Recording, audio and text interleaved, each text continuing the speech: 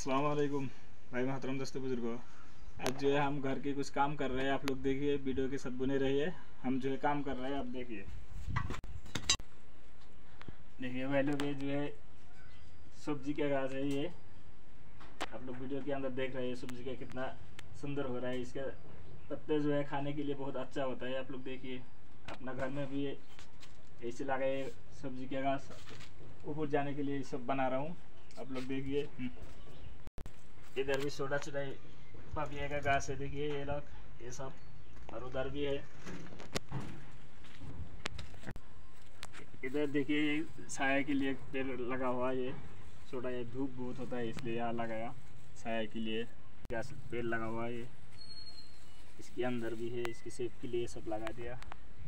और ये देखिए, इसका कितना सुंदर है हरी हरी पत्ता है इसका।